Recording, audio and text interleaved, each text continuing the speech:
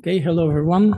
So my name is Jędrzej Bojanowski. I represent a Polish company called Cloudferro, uh, which actually builds the cloud computing infrastructures for EO data. And as you will see in my talk, we, we are now developing two important platforms for, for um, mm, European Commission for European community in Earth observation.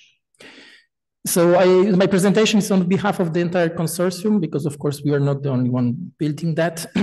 so this consortium, as you can see, is composed for from with many leading providers of of um, of tools and uh, expertise in Earth observation. So I think that's also important aspect in pushing things forward. That finally we have all these players in we, in one project building that so um, to start with, I mean, the recent ways or still current ways to access official Copernicus data, meaning Sentinel imagery, uh, you, you, you, you go for uh, open access hubs. Uh, so for Sentinel-1 and 2, 2 and 3 was this so-called Sci-Hub. Uh, but Sentinel-5, for example, in the different hub, uh, Sentinel-6 distributed at EUMETSAT, uh, Sentinel-3 data over oceans also distributed by EUMETSAT. Uh, so you had various places to get the data.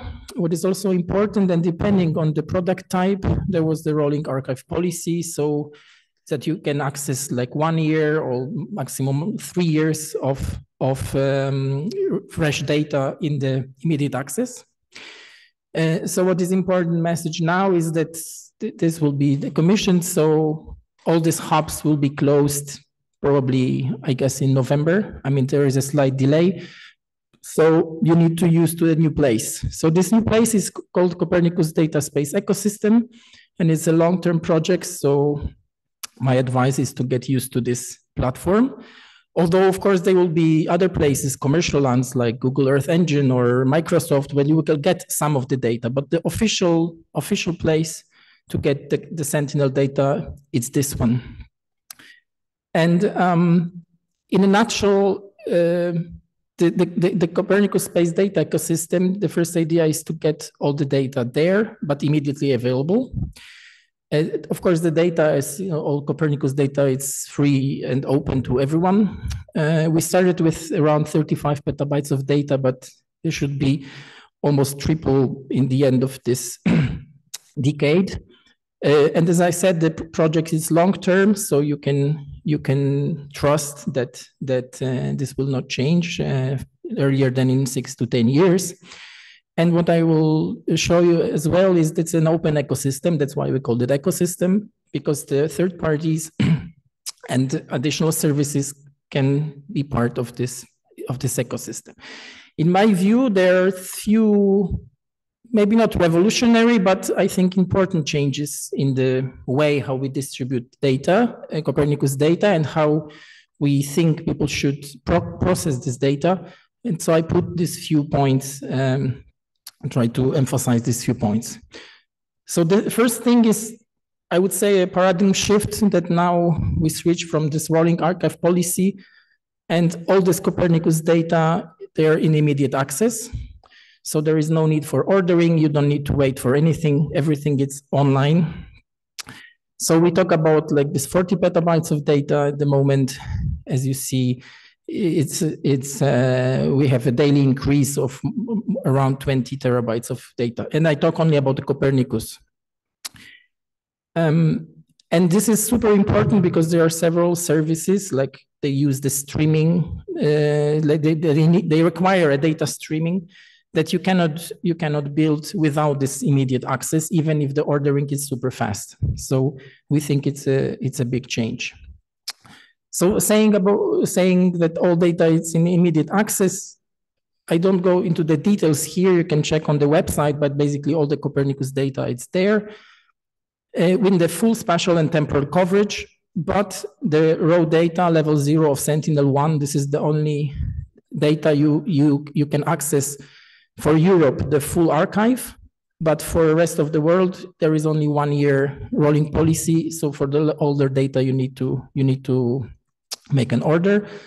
All the rest is in immediate access all the levels. Uh, I don't know. I, I, don't want to go into the details, but with Sentinel-2, there are these old baselines, but there is also this new reprocessing data also coming to the ecosystem.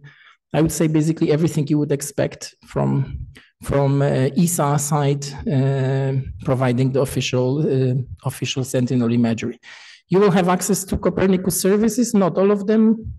This is still under discussion but at least at the moment is uh, the one concerning land, like the global land service, the land monitoring service, the emergency manage management service, and the marine environment monitoring service. This data is still available also in the ecosystem. You will have access to the contributing missions.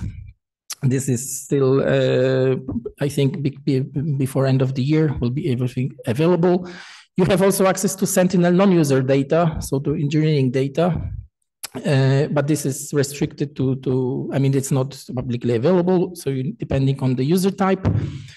And also you have various complementary data. So I put, put the, some of them, like you have MERIS data, you have SMOS data, you have Landsat for Europe, which is the pro processing of European Space Agency. It's not the USGS.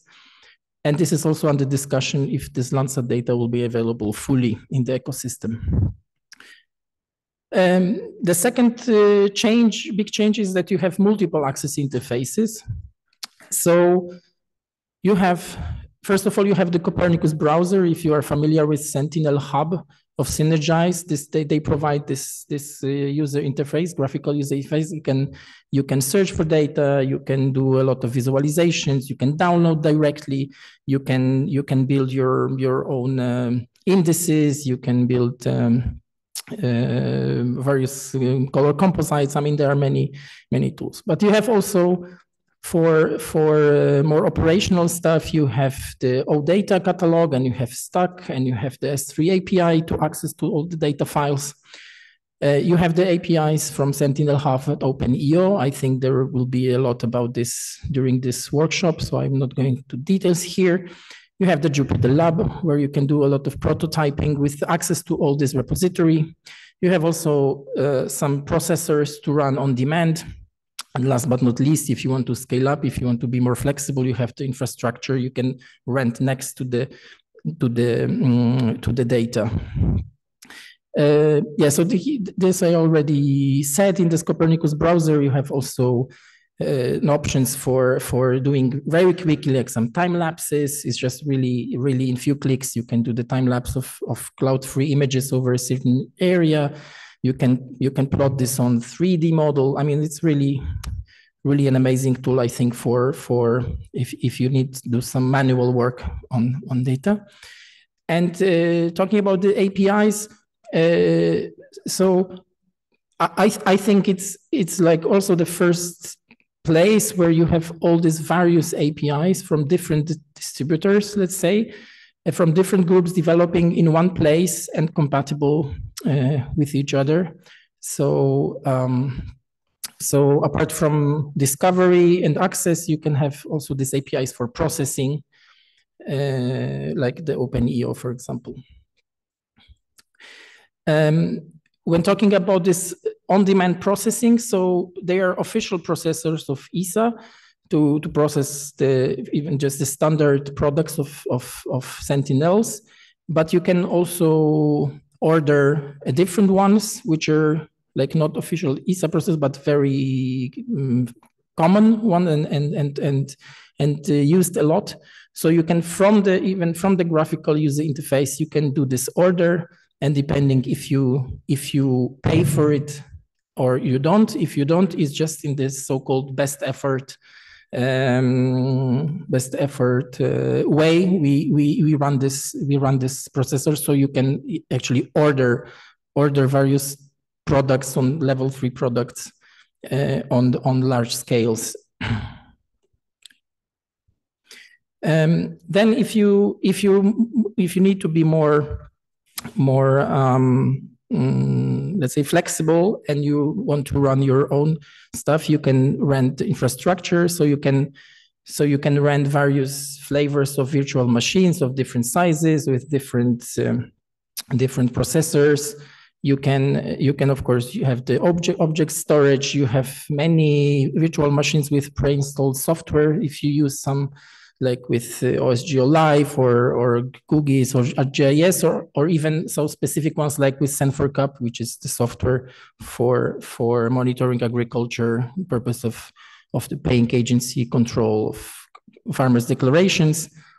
You can build clusters using Kubernetes and everything you can do not only on our cloud, but also on the cloud of, of, uh, of um, telecom, um, Open Telecom Cloud, which is the T-Mobile cloud. Uh, another aspect which I think is also super important and when you want to switch between what is in the open public domain and, the, and you need to switch to commercial services, everything now it should be super smooth. That's because in the backend, it's basically the same system. Is so you have the same identity, so you don't need to create the new users. You have 100% synchronized data offer. You have the same APIs. You might have at the commercial services, you might have access to more data, like for example, commercial data, but but what it's what it's available in the in the data space it will be available also when you run the commercial part and this commercial part is actually CREODIAS which you might know uh, so it's built on top of the so it's CREODIAS uh, 2.0 now so exactly it's a commercial part of the Copernicus space data ecosystem. So if you learn and you develop, you prototype something on the public service and you need to scale up, there is no need to learn anything. It's like really the same service. You just start paying for bigger infrastructure uh, you want to you want to use. So I think it's also it's also a big change that you can you can do that. Um, what is also important that to prevent, let's say, so-called uh, fake data and some problems in in uh, reproducibility of of the of the processing. There is also a service called traceability. So we have for each product, for each single file, you can track everything that happened with, with this. So this is about the, all the life cycle from the acquisition and coming into the ground segment and processing to level one, to level two or even to the to the final products like land cover or something. Uh, and this you can check also in the website. So you can put the, the name, the file name, and you can you can learn and read all the history of the file because you have the checksum of each product at each step. So you can be sure that what you are using is exactly, uh, for example, it's an official ESA product and not something else. And also you can use it to track um, to track uh, if there is no like was no impact on the data uh, somewhere in the process. And of course, as everything in this ecosystem, you can use the the website, but you can of course use the traceability API to do it on the in, in the automatic uh, way.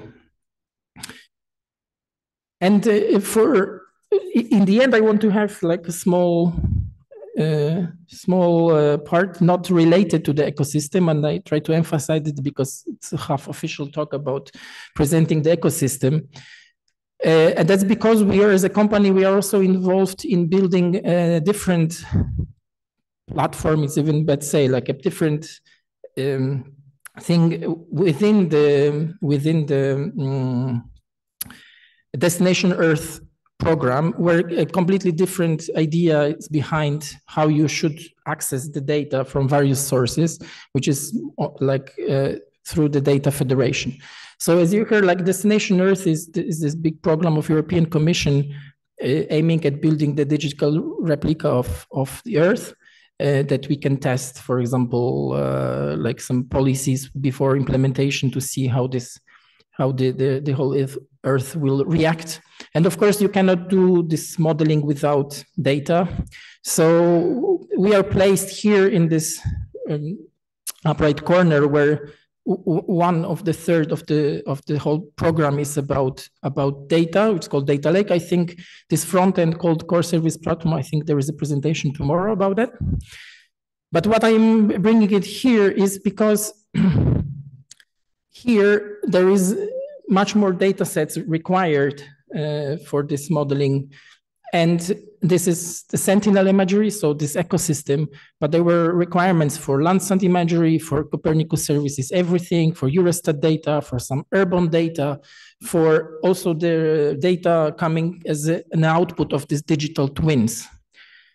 And the idea is that all this data you can process at supercomputing systems in Europe, and it's already at Lumi in Finland, in Leonardo, and there is a central site, which is our cloud. And there was a completely different idea how to tackle this problem through the data federation, through this harmonized data access, so that you have one catalog of all this data and you can query them in the, the same syntax from various sources. Um, but of course, this list is not full. So like for heavy users, and I assume there are many heavy users of your data in this workshop, you know, that there are many other data you would like to have in one place or not in one place. And I, I put it to trigger maybe a discussion, you know, because there's there's a lot of data on analysis, the big data, geostationary data, MODIS data, climate data store, data sets from EUMETSAT satellite application facilities. And uh, my, my question would be, do you think all this data should be centralized in one repository or we should go towards this data federation? Because as you see in two big projects going on at the moment, completely two different different um, ideas were were taken. So uh, so that's that that's a big question also for me. Um, you know, in which direction we should we should uh, uh, look at. So okay, so going back to the official official uh, paths, uh, just to to to sum up the Copernicus data data space ecosystem, where you have the all immediate data available, which is you many many uh, access uh, interfaces and in processing interfaces there. Uh, data authenticity guaranteed by the, the this traceability service and and uh, important aspect that you can switch between the public service and commercial services smoothly and with this uh, thank you for your attention